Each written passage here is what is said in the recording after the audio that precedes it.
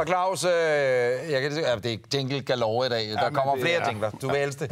Øh, Er det nogen, I selv får lavet, eller Ja, er jeg det, dig- kan er det sige, dig? det, nej, det er ikke mig, der har sunget her. Jeg kan sige, at tonemesteren på Dirk-filmen, han har blandt andet indsunget det her. Er det rigtigt? Sammen med Rico Wigman. Øh, ja, der, der er Rico Wigman kender jeg godt. Ja, men han er en af skaberne af programmet her. det spor, vi skal ned af. Vigtig viden er jo det indslag, hvor jeg nu spiller dig et klip, øh, viser dig et klip, og så skal du simpelthen afgøre, om det er vigtig viden eller ligegyldig info, det man får øh, at vide i klippet. Okay, ja. Og jeg kan sige, at vi skal med TV2 Nord øh, øh, til et indslag om en 9. klasse fra Gistrup Skole, der er på virksomhedsbesøg i Aalborg Havn. Spørgsmålet er, om det er vigtig viden, ligegyldig info. Og nu ved i hvert fald de 35 elever fra Vesterkæder skole, at Aalborg Havn er langt mere end honørkajen i Midtbyen. Og i øvrigt, at havnen er en gæstfri vært. De tørre tal trumfes med friskbagte pizzasnegle, to til hver.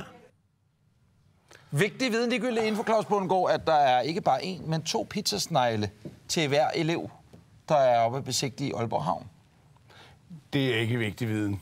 Hvorfor? Det synes jeg ikke, det er. Altså, jeg behøver ikke at vide, om de fik en eller to. Nej.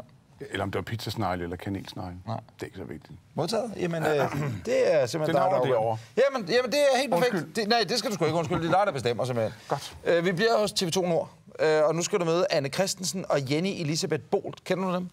Nej. Nej, men jeg kan sige, det er to dejlige værter på øh, TV2 mm-hmm. Nord. Og øh, de ligger også nu op til et indslag om musicals på nordjyske skoler. Men spørgsmålet er, det er det langt, om det er vigtig viden eller ligegyldig info. Mm. Nu skal vi ud på de skrå brædder, for det er lige nu sæson for de store musicals rundt omkring på, på de nordjyske skoler. Det er det nemlig. Er det noget, du sådan har øh, erfaringer med, Anna? Har du sådan optrådt på de skrå brædder? Nej, det må jeg sige, det har jeg overhovedet ikke. Jeg, jeg- altså, tilbage i børnehaven, det er jo 30 år siden, der var Pippi Langstrømpe, det er det vildeste. Kan du huske noget af det? Nej, jeg kan ikke huske andet, end at jeg har, var Pippi Langstrømpe, det var jeg ret stolt af. Hvad med dig, har du været? Åh, altså jeg, jeg vil sige, det, det er sådan lidt det samme, jeg kan huske sådan fra de første år i folkeskolen, Yes. der vi sådan lavede sådan nogle øh, skoleskuespil. Der kan jeg faktisk stadigvæk huske nogle af sangene, det mærker sådan nogle, dum, nogle ting, man kan huske. Er der et egentlig fagudtryk for det her? Padle, måske? Nej, fordi padle, det er jo, hvis du har en grund til at padle. Ja, teknisk øh, eller andet teknik, der. Øresnegl siger til dig, Ja. fuck, vi er nede, hold den gående, vi kommer nok op med den her satellitforbindelse. Prøv at holde den kørende, ikke? Padle, padle, padle. Ja. Det der, det stikker øje fra dem. Så simpelt, ja.